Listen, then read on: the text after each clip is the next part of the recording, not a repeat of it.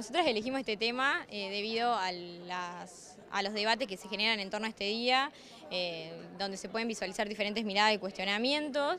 Eh, nosotras con nuestra investigación lo que buscamos es fomentar y promover la participación de los adolescentes que hayan transcurrido la celebración del último primer día.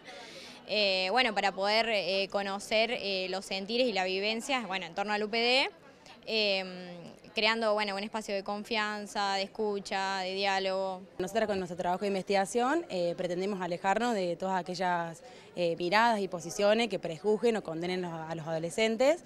Eh, creemos y estamos convencidas de que son los adolescentes los principales agentes de cambio en la sociedad y bueno, y, quienes, y son ellos y ellas quienes pueden construir sociedades políticamente organizadas que puedan pensar en lo colectivo por encima de lo individual. Eh, entonces, bueno, nos parece fundamental poder escuchar a quienes tienen mucho para decirnos. Eh, más que nada, bueno, para que eh, los medios de comunicación, los adultos, puedan mirar el UPD como una celebración, un ritual, a través de su propio, o sea, tal como lo sienten los, los y las adolescentes, que lo puedan mirar a través de sus propios ojos, sentir a partir de sus propias experiencias y vivencias. bueno, creemos que es fundamental que, bueno, que se empiece a hablar y a fomentar todo esto.